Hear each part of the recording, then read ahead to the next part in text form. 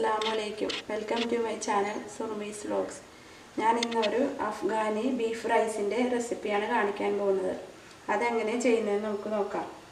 അത് ഞാൻ ബീഫ് കഴുകി വൃത്തിയാക്കി വെച്ചിട്ടുണ്ട്. നല്ല വലിയ പീസായിട്ട് കട്ട് ചെയ്തതാണ്. അത് നമുക്ക് കുക്കറിലേക്ക് ഇട്ട് കൊടുക്കാം.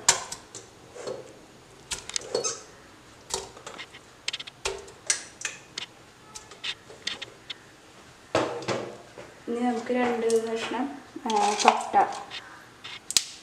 അത് ഒടിച്ചിട്ട് കൊടുക്കുക പിന്നെ കുരുമുളക്.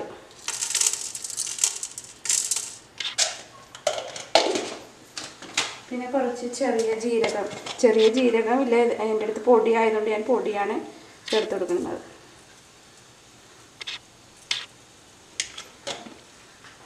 ഇനി പാകത്തിന് ഉപ്പ്.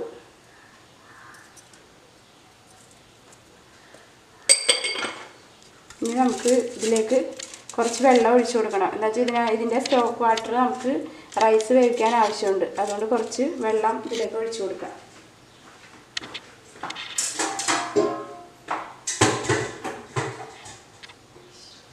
വെള്ളം ഒഴിച്ചു കൊടുക്കാം നമുക്ക്.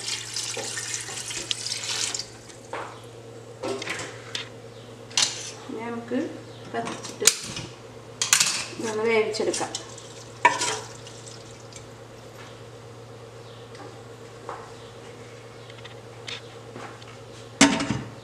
നമുക്ക് മൂടി വെച്ച് കഴിക്കാം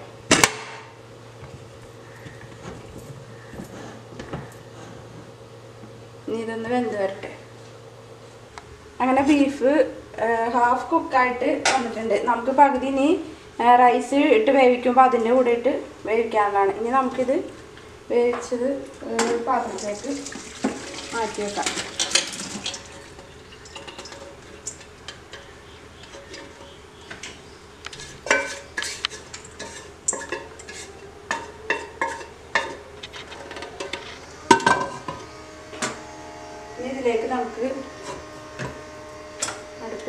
നെയ്യ് ഒഴിച്ചു കൊടുക്കും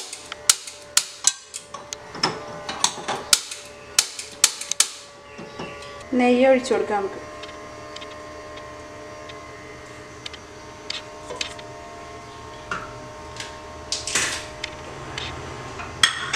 അതിലേക്ക് എടുത്തു വച്ചിരിക്കുന്ന രണ്ട് സവാള അരിഞ്ഞത് ഇട്ട് കൊടുക്കാം. പിന്നെ ഇഞ്ചി വെളുത്തുള്ളി ചതച്ചത് അതും ചേർത്ത് കൊടുക്കാം.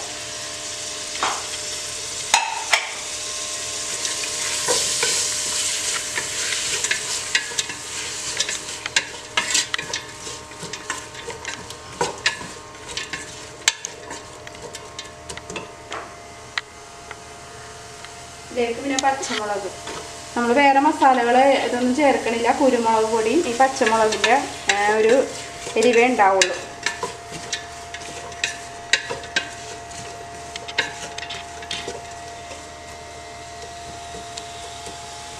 ഇനി ഇതൊന്ന് വഴന്ന് വരട്ടെ.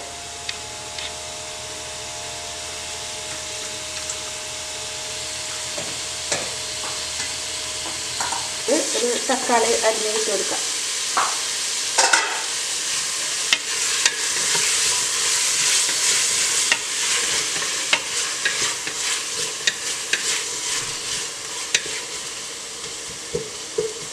നന്നായിട്ടൊന്ന് വാടി വരട്ടില്ല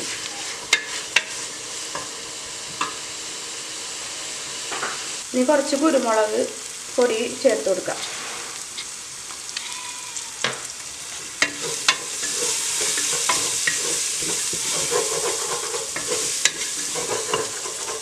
അഫ്ഗാനി റൈസിൽ നമ്മൾ ഒരുപാട് മസാലകളൊന്നും ചേർക്കാത്ത റൈസാണ് അതുകൊണ്ടാണ് ഈ കുരുമുളകിന്റെ എരിവേ ഉണ്ടാവുള്ളൂ. ഇനി നമുക്ക് വേവിച്ച് വെച്ചിരിക്കുന്ന ബീഫ് ഇട്ട് കൊടുക്കാം.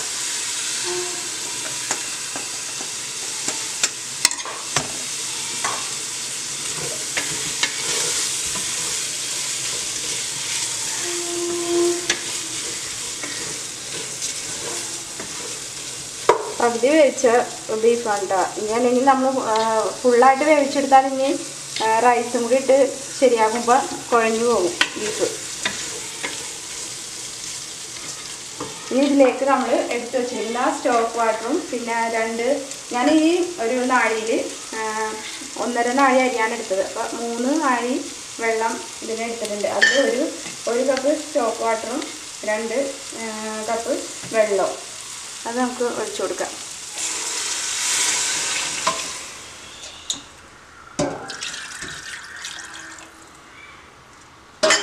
ഈ സമയത്ത് നമ്മൾ ഉപ്പ് നോക്കിയിട്ട് ഉപ്പ് പോരെങ്കിൽ ചേർത്ത് കൊടുക്കാം.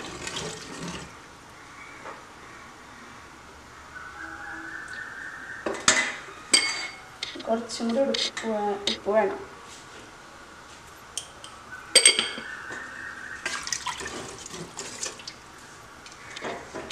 ഇനി ഇതിലേക്ക് നമ്മൾ കഴുകി വാരി വെച്ചിരിക്കുന്ന ബസ്മതി റൈസ് ഇട്ട് കൊടുക്കാം.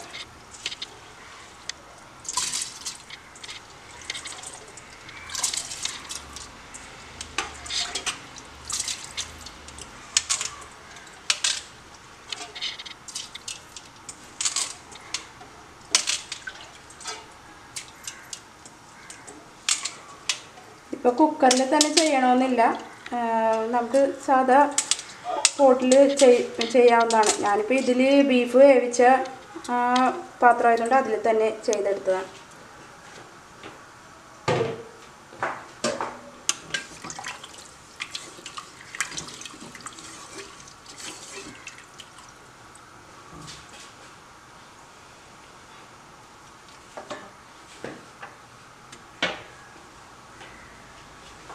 ഇനി നമുക്കിത് മൂടി വെച്ച് വേവിക്കാം.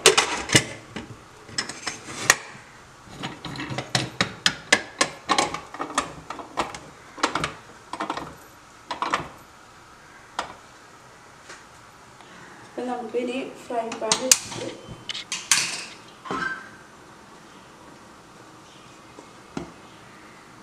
ചൂടായതിന് ശേഷം നമുക്ക് അതിലേക്ക് നെയ്യ് ഒഴിച്ചു കൊടുക്കാം. ഞാൻ അതിലേക്ക് നെയ്യ് ചേർത്ത് കൊടുക്കാം.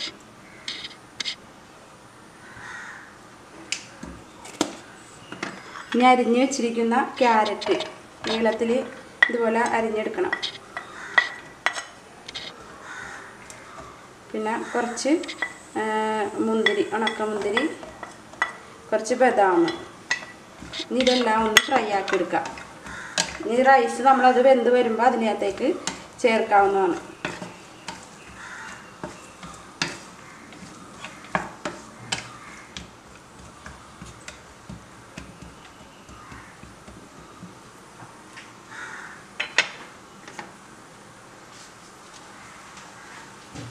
ഇനി നമുക്കിതൊന്ന് തുറന്ന് നോക്കാം.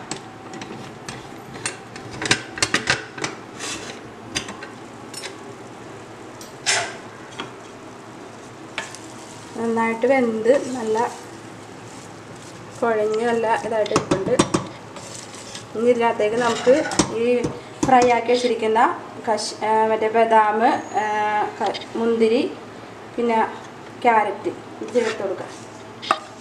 കുറച്ച് മാറ്റി വെക്കാം കുറച്ച് ഇട്ട് കൊടുക്കാം.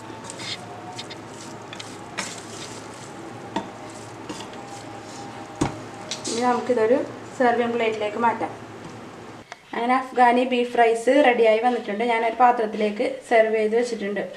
വളരെ കുറഞ്ഞ ചേരുവകൾ വെച്ച് നമുക്ക് വളരെ എളുപ്പത്തിൽ തയ്യാറാക്കാൻ പറ്റുന്ന ഒരു റൈസാണ് അപ്പോൾ എല്ലാവരും ഇതൊന്ന് ട്രൈ ചെയ്തിട്ട് ഫീഡ്ബാക്ക് കമന്റിലൂടെ അറിയിക്കുക.